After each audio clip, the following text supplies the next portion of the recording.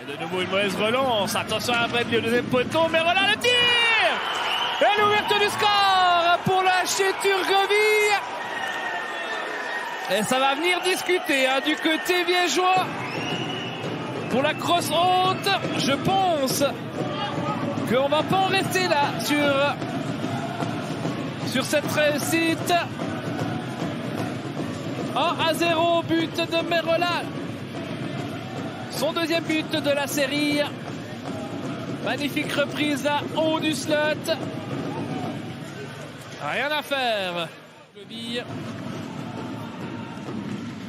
Oh la réduction L'égalisation de Widmer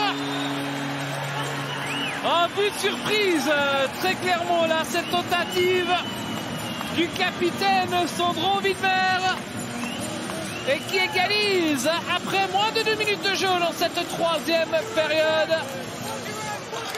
Ah, ça a surpris euh, Schwendener, comme ça m'a surpris moi-même. Je pensais voir un peu vers la cage et au final, euh, ce puck finit au fond des filets. Ah, Schwendener, pas tout blanc sur cette action-là.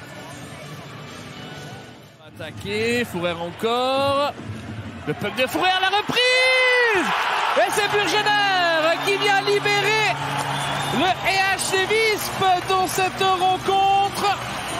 Joli numéro et montée de puck là de Andy Fourer et la tentative au deuxième poteau pour le rebond. Il y a un certain Dario Burgener pour le 2 à 1. Schwendener